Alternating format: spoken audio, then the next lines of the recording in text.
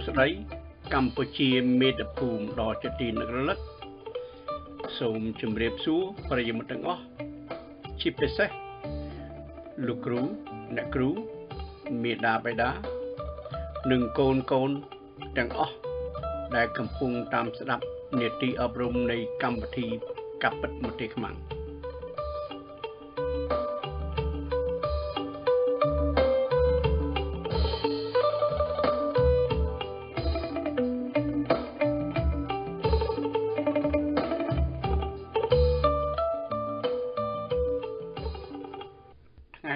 សូមជម្រាបជូនបកស្រាយជូននៅភាគទី3នៃវិធីសាស្ត្រជួយកូនឲ្យចូលចិត្តលេខគណិត ក្នុងភាគទី3នឹងមាន11សំណូមពរហើយអាចមានខ្ញុំបន្ថែមបន្ថយនៅតាមក្រោយសំណូមពរទី1គេសុំឲ្យយើងតាក់ទងទៅជាមួយនឹងលោកគ្រូពេលដែលកូនយើងទៅរៀននៅសាលា អឺរៀនមួយរយៈទៅមួយអាទិត្យឬពីរអាទិត្យទៅសុំជួបលោកគ្រូជួបផ្ទាល់ក៏បានជួបតាមទូរស័ព្ទក៏បានសួរឲ្យដឹងថាតើគាត់យល់យ៉ាងម៉េចដែរពីកូនយើងភាកច្រើនមួយអាទិត្យពីរអាទិត្យលោកគ្រូអាចចាប់ផ្ដើមដឹងពីកូនយើងច្រើនលោកគ្រូអាចដឹងថាកូនយើងចេះដល់កម្រិតណាអាចដឹងថាកូនយើងត្រូវការអ្វីខ្លះដើម្បីជាជំនួយបន្ថែមពីផ្ទះ ដើម្បីឲ្យរៀនងាយស្រួលនៅក្នុងសាលាលោកគ្រូគាត់មានការពិសោធន៍ជាមួយនឹងគម្រោងកម្មវិធីសិក្សារបស់រដ្ឋរបស់ប្រទេសយើងនឹងតើថ្នាក់ដែលកូនយើងរៀននេះក៏ត្រូវរៀនអ្វីខ្លះលោកគ្រូអាចបញ្យល់ប្រាប់យើងត្រង់នឹងហើយដែលយើងអាចយកមកផ្ទះរៀបចំខ្លួនដើម្បីជួយកូនយើង ឧបមាដូចជាលើកមុនអ្វីក៏ដោយកូនសិស្សច្រើនតែសរសេរដៃទាំងអស់ហើយខ្ញុំជឿថាស្រុកខ្មែរនៅសរសេរដៃយ៉ាងដែរប៉ុន្តែសាលាដែលថ្លៃថ្លៃសាលាឯកជនគេប្រើកុំព្យូទ័រច្រើនជាងយើងប៉ុន្តែខ្ញុំនិយាយអំពីសាលាយើងធម្មតាសាលារដ្ឋយើងធម្មតាអត់មានកុំព្យូទ័រប្រើច្រើនមកហើយគេនៅតែសរសេរនឹងដៃដដែលដូចធ្វើចំណោទដៃ អឺទាំងអស់ហ្នឹងលោកគ្រូអាចបញ្យល់ប្រាប់យើងឲ្យធ្វើយ៉ាងណា ដើម្បីជួយកូនចៅយើងឲ្យរៀនបានងាយជាងយើងនៅចាំរហូតដល់ពេលកូនចៅយើងមានបញ្ហាជាមួយមានការពិបាកជាមួយនឹងគណិតទើបទៅជួបគាត់ជួបគាត់ឥឡូវឲ្យកុំចាំដល់ពេលនោះ សំណុំពោលទី2ដូចជាលោកអ្នកធ្លាប់បានឮខ្ញុំជម្រាបពីមុនមកហើយ គឺមានយកចំណោតដាក់លេខចំណោតនឹងលេខគណិតដាក់ចូលទៅក្នុងជីវិតយើងរាល់ថ្ងៃដាំស្លជាដើមឬក៏ធ្វើលបងផ្ទះជាដើម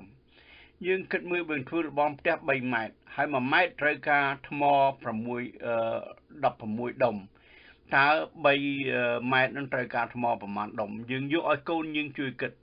ឥឡូវយើងមើលផ្ទៃកាឡាផ្ទះយើងទៅតឹង6ម៉ែត្របណ្ដោយ20ម៉ែត្រហើយបាននៃព្រៃកាឡាប្រមាណហើយយើងត្រូវការថ្មមួយមួយ1ភាគ4នៃ1អឺ1ម៉ែត្រកាឡាអញ្ចឹងទៅតើថ្មនឹងធំប៉ុណ្ណាទៅតើត្រូវការថ្មប៉ុន្មានអានឹងយើងអាចបញ្យល់ប្រាប់កូនយើងឲ្យកូនយើងយល់អំពីលេខលេខ ចំណោទដែលតាក់ទងជាមួយនឹងការរស់នៅសពថ្ងៃដាំស្លបើយើងចង់ឲ្យកូនយើងដាំស្លជាមួយយើង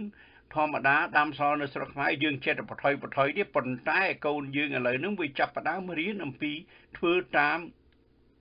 សភៅក្បួនធ្វើម្ហូប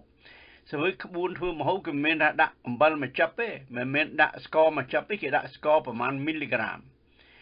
ដាក់ទឹកប្រមាណ សង់ទីលីត្រឯប្រហែលលីត្រអញ្ចឹងទៅដូច្នេះយើងមើលរៀនឲ្យកូនយើងស្គាល់អំពីរង្វាស់រង្វាល់អឺជាទំហំឬជាចំណុះឬជាប្រវែងជាដើមអឺនឹងសំណូមពរមួយទៀតដែលគេស្នើសុំឲ្យយើងគិតឲ្យមែនទែនគឺតកតងទៅជាមួយនឹងអឺយើងលេងហ្គេមយើងមើលកីឡាណា យើងមើលកីឡាយើងមើលទូរទស្សន៍ដែលគេនិយាយអំពីកាលណាអឺអ្នកនេះឆ្លើយសំណួរនេះមួយត្រូវបានប៉ុណ្នេះបើថាបាន200 200គ្រាប់មិនមែនលុយដុល្លារអញ្ចឹងណាហើយជប់បើឆ្លើយបានប៉នេះត្រូវប្រមាណដែលបានយើងចាប់ផ្ដើមបង្រៀនកូនយើងឲ្យគិតតាមយល់ទៅតាមកីឡាក្តីកាពេលវេលាក្តីឬប្រាក់ដែលត្រូវបានរង្វាន់ពេលឆ្លើយត្រូវក្តី ឯសំណូមពរទី3គេសុំឲ្យក្មេងយើងរៀនលេងអំពីគេថាអឺលបែងដែលតាក់ទងជាមួយនឹងលេខគណិតហ្នឹងអឺខ្ញុំដដែលនេះខ្ញុំមិនដឹងស្រុកខ្មែរយើងមានអ្វីទេប៉ុន្តែ board game board game គឺលេងនៅលើតុដូចលេងរែកលេងអុកលេងអីហ្នឹងអានឹងតាក់ទងជាមួយនឹងគំនិតរបស់លេខគណិតដែរអឺទទួលឲ្យកូនយើងទទួលស្គាល់ថាឥឡូវឧបមាបើសិនជាយើងលេង ទៅយើងពាត់គេជាប់នៅក្នុងរយៈប៉ុន្នេះនាទីអានឹងយើងអាចចែកយ៉ាងឥឡូវយើងលេងឲ្យឈ្នះចាញ់កាលណាចាញ់នៅពេលណាដែលយើងមកលេងរែកការចាញ់យើងយើងសម្រាប់ស្ដាច់គេបានមិនអញ្ចឹងតើយើងលេងប្រហែលនាទីបានឈ្នះហើយបើឈ្នះក្នុងប៉ុន្នេះនាទីបាននេះយើងប្រកែប៉ុណ្ណាឃើញចាប់ផ្ដើមយកគំនិតប្រកែប៉ុណ្ណាកាលណាយើងលេងពេលឈ្នះគេកាន់តែខ្លី អានឹងកាន់តែប្រកែបើឈ្នះយូរមិនមិនមិនខ្សោយមិនអញ្ចឹងដូចយើងដាល់គ្នាអញ្ចឹងអ្នកដែលដាល់ប្រកែគឺដាល់4 10ដៃដួលមកអ្នកខ្លះដាល់5ដល់10ទឹកនៅអត់ដួលដួលឬដួលនៅទឹកទី15ម្ល៉េះហើយគេមិនចាត់ជាប្រកែដូចអាដាល់ភ្លាមដួលភ្លាមទេអានេះខ្ញុំគ្រាន់តែលើកជាឧទាហរណ៍មកហើយនឹងលបែងដែលគេលេងនៅស្រុកនេះច្រើនគឺអឺមានតាក់ទងជាមួយដៃដៃហ្នឹងអាក្របលុកលាក់ណាអឺ ខ្ញុំគ្រាន់តែសុំប្រយ័ត្នបន្តិចឲ្យក្របលុកលាក់ហ្នឹងកុំឲ្យកូនលេងលេងទៅហើយវាច្រឡំជាមួយនឹងលបែងស៊ីសងមានលបែងជាច្រើនដែលខ្ញុំជឿថាលោកគ្រូអ្នកគ្រូនៅស្រុកខ្មែរងាកទៅលោកគ្រូអ្នកគ្រូស្រុកខ្មែរខ្ញុំចង់លេងលបែងជាមួយកូនខ្ញុំដែលតាក់ទងជាមួយកណិតតើលេងលបែងអីគេអានឹងខ្ញុំសង្ឃឹមថាលោកគ្រូអ្នកគ្រូនឹងអាចស្រាវជ្រាវរកឲ្យភាគច្រើនក៏ដឹងហើយទៅហើយលោកគ្រូកណិតក៏ដឹងហើយទៅហើយជាពិសេសលោកគ្រូកណិតនៅថ្នាក់ ទៀបទៀបបើលោកគ្រូកណិតទៅថ្នាក់លឺលឺមានលបែងដែលគេបញ្ជូនពីអាមេរិកទៅជាច្រើនណាស់ដូចជាលបែង24 challenge game ខ្ញុំមានហើយប៉ុន្តែខ្ញុំតាក់ទងនៅគ្រូស្រុកខ្មែរហាក់ដូចជាមានការពិបាកនឹងបញ្ចូលទៅបន្តិចព្រោះអាហ្គេមនឹងមិនត្រូវការពេលប៉ុន្តែបើក្មេងចេះលេងអានឹងឲ្យបានដិតដល់វានឹងជួយឲ្យក្មេងគិតលះបន្តិច ព្រោះខ្ញុំសម្គាល់ដល់ game អា24 challenge game ហ្នឹងខ្ញុំលេងជាមួយកូនសិស្សនៅសាលាមិនមែនខ្ញុំឈ្នះពួកវារហូតទេខ្ញុំគ្រាន់តែដឹងយកពេលគិតប៉ុន្តែពួកវាកូនសិស្សដែលប្រកែក៏មិនប្រកាសជាឈ្នះរហូតដែរគឺអានឹងគឺយកមកគិតមិនបានបញ្ជាក់ថាអ្នកដែលឈ្នះនឹងប្រកែលេខ1នឹងប្រកែកណិតទេអត់ទេអត់ទេវាប្រកែដែរប៉ុន្តែមិនប្រកែដល់កម្រិតអាប្រកែដល់កម្រិតហ្មងលេខហ្នឹងអត់សំខាន់មួយវាទេ អានឹងអានឹងមួយដែលសុំកុំឲ្យយល់ច្រឡំថាកូនខ្ញុំចេះលេងហ្គេមច្រើនវាវាចេះកណិតច្រើនមិនប្រកាសទេវាអាចប្រកែកណិតប៉ុនមិនប្រកែដល់កម្រិតទេឬកូនយើងចេះលេងកុំព្យូទ័រច្រើនចេះដឹងចុចច្រើនបាននៃកូននឹងប្រកែកុំព្យូទ័រមិនប្រកាសទេសូមយកសំណុំពោនឹងមួយយកទៅគិតឲ្យបានដិតដល់សំណុំពោទី4គេថាពន្យល់អំពីកំហុសដែលកូនយើងបានធ្វើ បាននេះពន្យល់ក៏បានឬក៏យើងយកទៅគិតមើលមើលថាតើកំហុសដែលកូនយើងបានធ្វើនឹងវាធ្ងន់ប៉ុណ្ណាការពិតនៅពេលដែលកូនយើងធ្វើកំហុសនៅលើលំហាត់មកពីសាលារាល់ថ្ងៃអានឹងអត់ធ្ងន់ទេ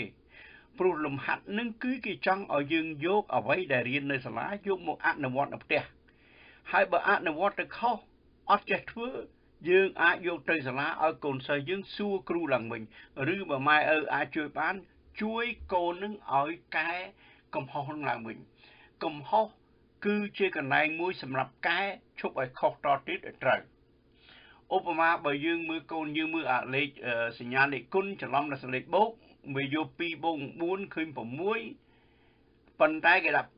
ចម្លើយត្រូវ8អានឹងគឺមកសញ្ញាលេខគុណនេះ2គុណ4ឃើញ8ជួនកាលកូនយើងអានទៅច្រឡំឬក៏គ្នាអានមើលយូរពេកទៅភ្នែកឡើងព្រិល វាតាក់ទងទៅទាំងអស់ហ្នឹងរឿងកំហុសវាតែងតែមានរៀនគណិតតែងតែមានអញ្ចឹងហើយបានពេលដែលរៀនគណិត គេទម្លាប់ឲ្យកូនសិស្សសរសេរនឹងខ្មៅដៃគេដឹងថានឹងមានខុសដូច្នេះបើសិនជាកែខុសត្រូវមិនអាចលុបចោលបានដូច្នេះបានន័យថាបើកូនយើងធ្វើខុសកុំស្រែកដាក់វាជួយពន្យល់ប្រាប់វា ដែលបញ្ហាដែលខ្ញុំមើលឃើញគឺម៉ែឪដល់ ពន្យល់ប្រាប់កូនអស់ចិត្តហើយស្មានតែកូនយល់ហើយស្រាប់ដល់កូនធ្វើខុសជេរវាថាឯងល្ងងម៉ែឯងភ្លើមអញពន្យល់ប៉ុណ្ណឹងមិនយល់អញសួរមិញហ្នឹងឯងថាយល់ឥឡូវមិនយល់ការពិតពេលដែលគ្នាឆ្លើយថាយល់អាចការយល់ច្រឡំរបស់គ្នាដែរគ្នាយល់ថាគ្នាថាយល់ឬក៏អាចវាឆ្លើយយកតែរួចខ្លួនឲ្យបានដែរប៉ុន្តែយើងត្រូវចាំថានេះជាការរៀន មិនមែនជាការអនុវត្តចុងក្រោយណាបើសិនជាពេលប្រឡងខុសអានេះយើងគួរអន់ចិត្តដែរប៉ុន្តែទោះជាអន់ចិត្តពេលប្រឡងខុសអឺអានឹងក៏យើងគួរដោះស្រាយថាដោះស្រាយយ៉ាងម៉េចកុំឲ្យប្រឡងនៅក្រោយខុសដូចនឹងទៀតរឿងដែលសំខាន់យើងត្រូវតែអត់ធ្មត់កាលណាបង្រៀនក្មេងត្រូវតែអត់ធ្មត់ហេតុអ្វីបានជាពេលដែលខ្ញុំឲ្យកូនស្រីខ្ញុំហៅពួកម៉ាក់មើលមករៀនមួយខ្ញុំមិនបង្រៀនកូនស្រីខ្ញុំផ្ទាល់តែម្នាក់ឯង ពីព្រោះតែយើងបង្រៀនកូនស្រីយើងផ្ទាល់តែម្នាក់ឯងកាលណាកូនស្រីយើងធ្វើខុសយើងអាចមានអារម្មណ៍មួយមិនអស់ចិត្តឬមួម៉ៅចឹងទៅដល់មានកូនគេនៅនឹងមួយដែរយើង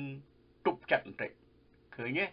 អានឹងមួយកំណត់ខ្ញុំខ្ញុំដឹងថាខ្ញុំក៏មិនមនុស្សអត់ធ្មត់មកណែទេប៉ុន្តែខ្ញុំដឹងថាគ្រូដែលល្អគឺគ្រូដែលមិនស្រែកជេរកូនសិស្សរញ៉េរញ៉ៃពេញភូមិពេញសាក់រៀនទេនឹងគ្រូដែលល្អ សំណុំពោលទី5គឺបានន័យថាបើសិនជាកូនយើងថាគេមិនចូលចិត្តគណិតយើងអឺសាកសួរដេញណោលមើលមើលហើយចង់ឲ្យកូនយើងបញ្យល់របៀបម៉េចមិនបានកូនឯងមិនចូលចិត្តគណិតឲ្យកូនយើងបញ្យល់ហើយគឺកុំឲ្យកិច្ចថាខ្ញុំមិនដឹងដែរម្នេះនេះហេតុអ្វីបានមិនចូលចិត្តគណិត សួររហូតទាល់តែកូនយើងមិនមានទល់ទេទាល់តែចំណុចមួយប្រាប់ថាការពិតកូនឯងមិនចូលចិត្តគណិតប្រហែលជាកូនឯងស្មានថាគណិតពិបាកម្ល៉េះហើយយើងបញ្យល់យ៉ាងម៉េចឲ្យយល់ថាគណិតបើយើងរៀនពីដើមមករៀនពីដើមមកឲ្យបានត្រឹមត្រូវអត់ពិបាកទេបញ្ហាត្រង់ថាអ្នករៀននឹងមើលងាយមើលងាយមើលងាយសាប់ដល់ថ្ងៃត្រូវរៀនរៀនយល់ម្ដងមួយពេលមួយគឺពេលវេលាដែលរៀន បើយើងខំរៀនពីចម្ងាយអត់អីទេពេលបញ្ហាយើងមិនរៀនពីចម្ងាយយើងចាំដល់ចិត្តបានយើងរៀនអានឹងក៏មានបញ្ហាដែរដូច្នេះបើកូនថាខ្ញុំមិនអាចធ្វើបានទេយល់ព្រមមិនអាចធ្វើបានឥឡូវមកប៉ាជួយបង្ហាញកូនឯងម៉ាក់ជួយបង្ហាញកូនឯងតតតែធ្វើបានបើប៉ាធ្វើបានកូនឯងធ្វើមួយទៀតមិនចឹងអូខេបង្ហាញទៅពាក្យបង្ហាញមិនមែនធ្វើឲ្យទេធ្វើសួរទៅឥឡូវបើសិនជា 3x 6 ស្មើនឹង18ឥឡូវមុនដំបូងដក6ចេញសងខាងឃើញនៅបង្ហាញប្រាប់ធ្វើបង្ហាញប្រាប់ដក6សងខាងខ្ញុំនៅសល់ 3x ស្មើនឹង12មិនចឹងឥឡូវ 3x ស្មើ 12x មួយប៉ុន្មានយើងអត់ដឹងទេមិនចឹងយើងយក 3x ចែក3ទៅចែក3ទៅហើយ12ចែក3ទៅឃើញ4ដូច្នេះ 3x x ទៅទេ 1x ស្មើ4មែនទេ ដល់អញ្ចឹងនេះយើងបញ្យល់មួយមួយអញ្ចឹងទៅដល់បញ្យល់ហើយឥឡូវខ្លួនឯងយល់ហើយឥឡូវខ្លួនឯងសាកធ្វើមួយវិញម្ដងឥឡូវយើងដាក់ 5x 8 equal to uh 38ឧបមាអញ្ចឹង 5x 8 equal to 38 5x បូកនឹង8ស្មើនឹង38ឲ្យកូនយើងធ្វើដូចគ្នាអញ្ចឹងឯងធ្វើដូចប៉ាធ្វើមិនអញ្ចឹង ដក8ចេញសងខាងមិន3មិន 5x នៅស្មើនឹង30ហើយចែកសងខាងចែក5នោះមិន x ស្មើនឹង6ឃើញដល់កូនធ្វើតាមយើងទៅទោះជាថាបើធ្វើមិនកើតប៉ុន្តែយើងថាបើធ្វើមិនកើតប៉ាធ្វើជួយធ្វើឲ្យហើយបើកើតខ្លួនឯងធ្វើមួយឲ្យប៉ាដែរដល់អញ្ចឹងយូរយូរទៅវាចាប់មានអារម្មណ៍ថាវាចេះដែរតាមានពិបាកប្រហែលដល់អញ្ចឹងទៅវាហ៊ានធ្វើវាទុកចិត្តខ្លួនឯងសំខាន់បំផុត ក្មេងទុកចិត្តតែខ្លួនឯងប្រកែកណិតដែរមិនមែនល្ងងទេសំណុំពោលទី6គេថាសូមឲ្យយើងប្រើ manipulative បានន័យថាអ្វីមួយដែលជំនួយ ខាងភ្នែកឲ្យឃើញឲ្យមើលឃើញជាងមុនឥឡូវយើងចង់បញ្យល់ប្រាប់កូនយើងថា ដីនឹងទំហំ6ម៉ែត្រនិង8ម៉ែត្រហើយយើងបញ្យល់ប្រាប់កូនយើងអឺ6ម៉ែត្រនិង8ម៉ែត្រវា គុណគ្នានេះគេថាទំហំដីហ្នឹងគឺ48ម៉ែត្រកូនអត់យល់ទេទោះយើងប្រាប់វាថា6គុណនឹង8 48ពីព្រោះតាមទ្រឹស្ដីមកដើម្បីរក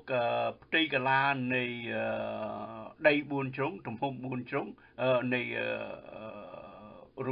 វង4ជ្រុងហ្នឹង4គុណ8 48អត់ទេអាហ្នឹងអត់បានទេ យើងឥឡូវយើងគូសនៅយកមិនយកគូសយកថ្មយកថ្មអីយកដុំឈើអាប្លុកប្លុកហ្នឹងយកមកដាក់គោដាក់ជុំគ្នាបានបន្តគ្នាបាន6ទៅអាហ្នឹងពីលើចុះក្រោមបាន6ទៅហើយបានទៅឆ្វេងស្ដាំបាន8ឃើញទេ6ហើយនឹង8ទៅតឹងហើយទៅ6មិនដោយហើយទៅ8ឥឡូវយើងបញ្យល់ប្រាប់ថាតើ អឺផ្ទៃកន្លានៃនៃដីយើងប្រមាណយើងរាប់មើលមើលមុនដំបូងយើងថា6គុណ8គឺ48ត្រឹមត្រូវហើយបើតាមតាមទ្រឹស្ដីមិនចឹងប៉ុន្តែបើតាមដែលអឺយើងធ្វើឲ្យឃើញវិញយើងគិតមើល6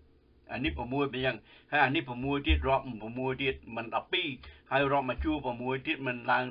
18បូកមកជួរ6ទៀតមិនឡើង24បូកមកជួរ6ទៀត8ដងទៅវាឡើង48ដល់រាប់ទៅហើយឲ្យយកបិចសរសេរនឹងខ្មៅដៃសរសេរលើប្លុកមួយមួយសរសេរ1 2 3 4 5ឃើញ48ម្ល៉េះហើយបើដឹង48អូខេឥឡូវជប់ប្រវែងជុំវិញអានឹងផ្ទៃកន្លាយើងឃើញ48 អានេះគឺយើងយក manipulative មកបង្ហាញឲ្យគុណយល់អំពីផ្ទៃក្រឡាឥឡូវប្រវែងជុំវិញដើម្បីឲ្យដឹងវាយ៉ាងម៉េចយើងយករាប់មើលទៅយើងរាប់ជុំវិញហ្នឹងយើងរាប់1 2 3ពីឆ្វេងទៅស្ដាំមិន8មិនចឹងហើយឡើងឡើងលើអានឹងយើងយើងពីក្រោមឡើងទៅលើហ្នឹងណារាប់ទៅ8ហើយនឹង6ហើយនឹង8ហើយនឹង6មិនបូកគ្នាទាំងអស់ប្រហែលយើងគិតមើលមើល តើទាំងអស់ឃើញប្រមាណមិនឃើញ28ដូច្នេះរឿងទាំងអស់ហ្នឹងមកតាក់ទងទៅថាតើយើងបង្ហាញរបៀបម៉េចយកអោបឈើប្លុកប្លុកហ្នឹងមកបង្ហាញកូនយើងឲ្យកូនយើងយល់សំណុំពោលទី7គេថាឥឡូវយើងអាចធ្វើការស្រាវជ្រាវទៅតាម social media បានបាននៅតាមអ៊ីនធឺណិតបាន គ្រូមួយចំនួនគាត់ចាប់ផ្ដើមប្រើ Twitter ដើម្បីសរសេរអំពី អ្វីដែលគាត់ចង់មករៀនលើ Twitter ដើម្បីឲ្យពួកយើងយល់ហើយសរសេរខ្លីៗទេយើងអាចមើលទៅតាមនឹងតាក់ទងលោកគ្រូមានធ្វើអាហ្នឹងទេហើយខ្ញុំជឿថាលោកគ្រូរដ្ឋខ្វះថាមានចាប់អាមានធ្វើហើយហើយបើលោកគ្រូមិនទាន់បានធ្វើសាកលោកមកមើលលើ Twitter ក៏បាននៅលើ Messenger ក៏បានគាត់អាចបង្កើត Messenger នៅថ្នាក់មួយសម្រាប់ថ្នាក់យើងរៀនមួយតែថ្នាក់មួយហ្នឹងទៅគឺកូនសិស្សទាំងអស់ចូលក្នុងទាំងអស់គ្នា ម្នាក់ម្នាក់ត្រូវដាក់អឺកម្រិតមួយដាក់ថាអាចនិយាយតែពីកណិតមួយមុខឯងអត់មានសួរសុខទុក្ខអីទេអត់មានមើលទៅអ្នកឯងស្អាតអ្នកឯងជាពាក់ស្អាតជាមួយថ្ងៃនេះអត់ទេគឺនិយាយអំពីកណិតទៅទេអានឹងយើងអាចធ្វើជាងបាន Messenger ធ្វើបានអឺ Telegram ក៏ធ្វើបានដែរដូច្នេះបើយើងមើលទៅ YouTube ជួនកាលលោកគ្រូថាក៏រហូតរហូតដល់ហ៊ានដាក់មេរៀនគាត់លើ YouTube ឲ្យយើងមើលទៀតអ្វី អ្វីអ្វីក៏យើងអាចយកចេញអំពី social media យកចេញអំពីអ៊ីនធឺណិតបាន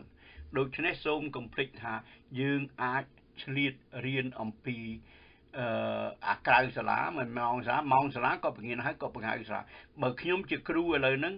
ខ្ញុំនឹងបង្រៀនហើយខ្ញុំនឹងបង្កើតអាអា Messenger ហ្នឹងគឺសម្រាប់ថ្នាក់ទីប្រមាណអញ្ចឹងទៅហើយពួកអាកូនសិស្សមួយថ្នាក់ហ្នឹងរៀននឹងនឹងទាំងអស់គ្នា អានឹងគឺជួយមួយជួយកូនសិស្សមិនរៀនគូវាបញ្ហាមួយរឿងរៀនគូនឹងវាបញ្ហាត្រង់គេចោទថាអ្នករៀនគូគៀបយកលុយពីកូនក្មេងអឺខ្ញុំបន្ទោសមិនបានដែរដែលនិយាយទៅគេថាមកពីប្រាក់ខែគេតិចប៉ុន្តែរឿងទាំងអស់ហ្នឹងបើសិនជាលោកគ្រូបង្រៀនគូឲ្យលោកគ្រូបើកអានឹងទៀតអានឹងរឹតតែប្រសើរបើកអាអ៊ីនធឺណិតហ្នឹងឲ្យកូនសិស្សមើលចំណែកសំណូមពរទី8គេសូមឲ្យយើងមើលទៅកម្មវិធីសិក្សារបស់សាលា និងកម្មវិធីសិក្សារបស់ អឺក្រសួងអប់រំ ដែលតាក់ទងជាមួយនឹងគណិតតើកូនយើងនឹងរៀនអ្វីខ្លះដើម្បីឲ្យទៅដល់ចំណុចមួយដែលយើងបំណងនាំកូនយើងទៅនឹងឧទាហរណ៍ដូចជាបើកូនយើងថ្នាក់ទី10តើថ្នាក់ទី10រៀនស្អីខ្លះថ្នាក់ទី12រៀនអ្វីគេខ្លះតើតែយើងដឹងចុះបើកូនយើងថ្នាក់ទី4យើងចង់នៅទី5ទី6រៀនអ្វីខ្លះគម្រោងការយើងចង់ណែនាំឲ្យកូនយើងទៅរៀនខាងណា ប៉ុន្តែដដែលនឹងសូមបញ្ជាក់ថាសូមទុកឲ្យកូនយើងអ្នកសម្រេចចិត្តប៉ុន្តែពេលដែលនៅពីក្មេងយើងចិត្តណែនាំទៅ ក្នុងការណែនាំនឹងកុំនិយាយ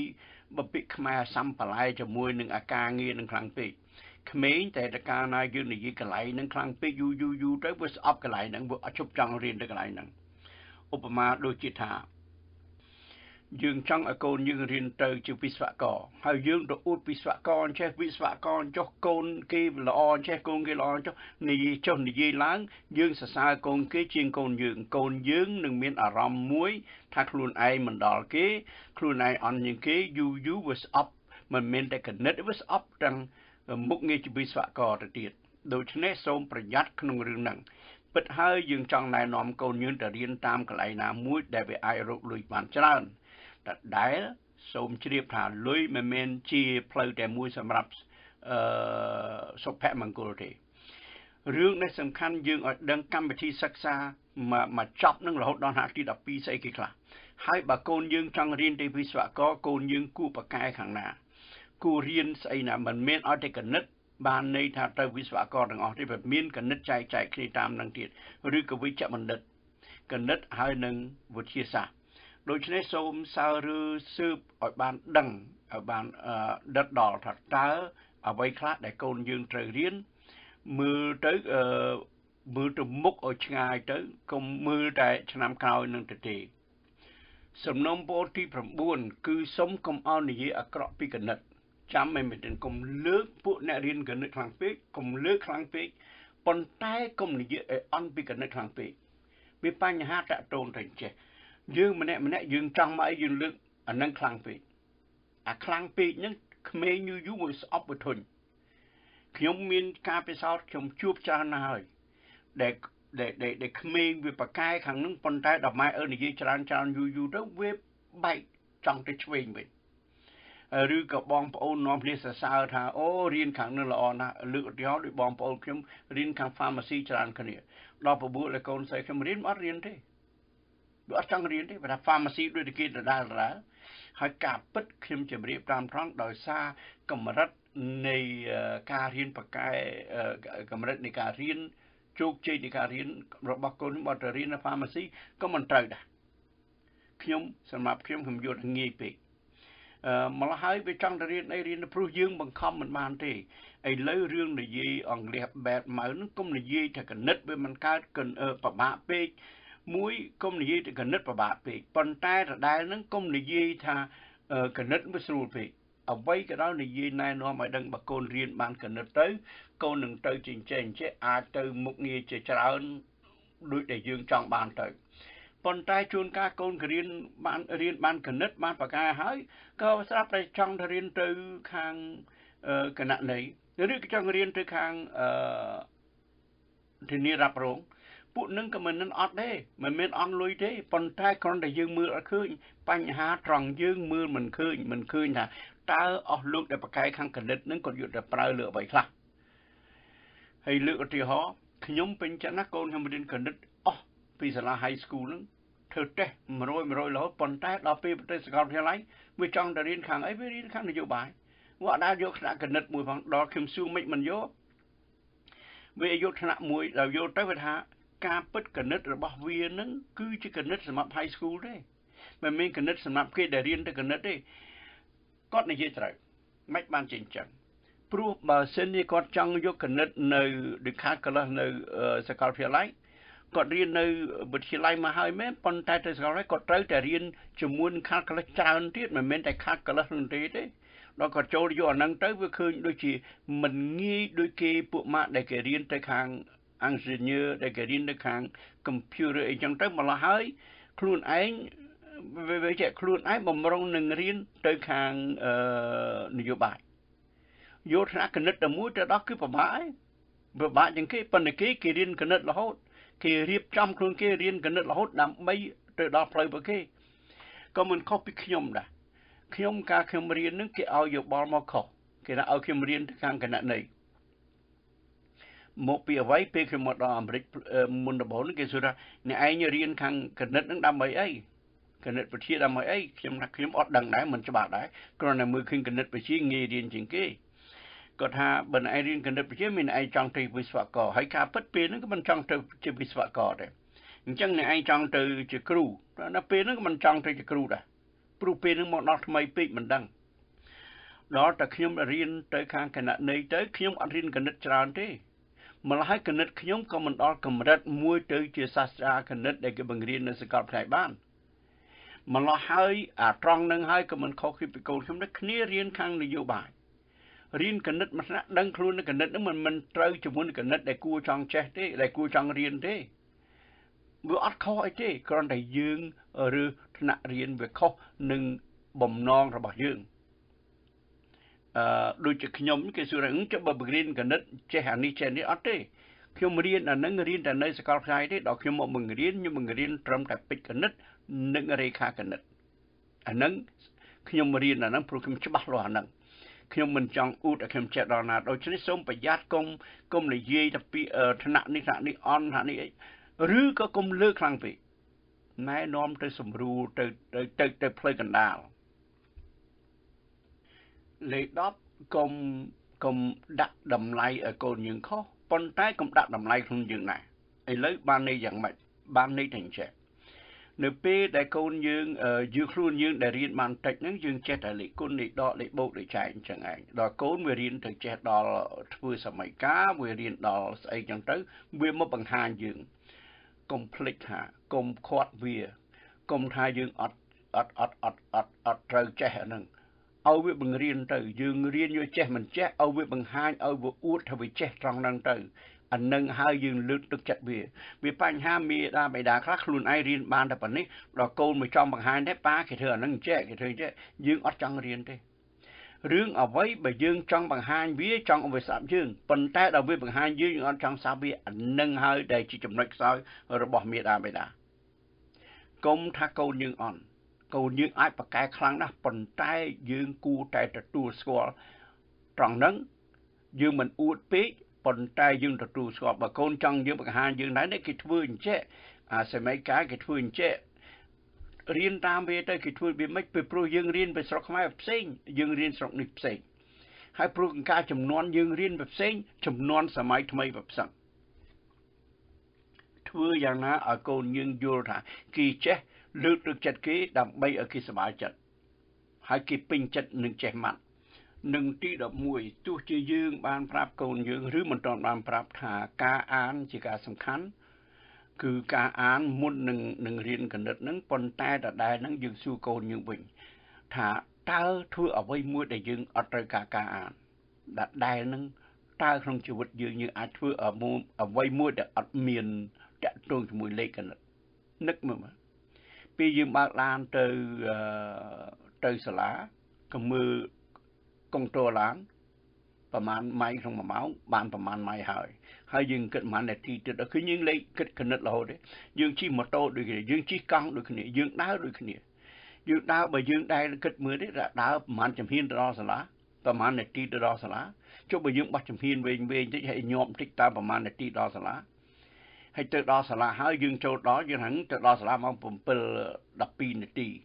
ហើយសាលាចូលម៉ោង18ម៉ោង17ម៉ោង7កន្លះតើយើងនៅសល់ប្រហែលនាទីទីសម្រាប់លេងជាមួយពូម៉ារឿងទាំងអស់អ្វីក៏ដោយជុំវិញជីវិតយើងនឹងវាតែងតែមានកណិតប៉ុន្តែដដែលនឹងជាមួយកណិតយើងត្រូវតែចេះអាន ពីព្រោះកណិតសម័យថ្មី ជាកណិតដែលគេឲ្យជាលេខចំណោទជាអក្សរ ដូចខ្ញុំបានជម្រាបជូនអញ្ចឹងគេសួរងាយបំផុតគេថាចតកោនកែមួយអឺចតកោនកែមួយហ្នឹងហើយមានតទឹងប្រមាណបដោយប្រមាណអញ្ចឹងទៅតទឹងខ្លីជាងបដោយប្រមាណអញ្ចឹងទៅតើផ្ទៃកលាប្រមាណបើយើងគិតមើលឲ្យមែនទែនទៅ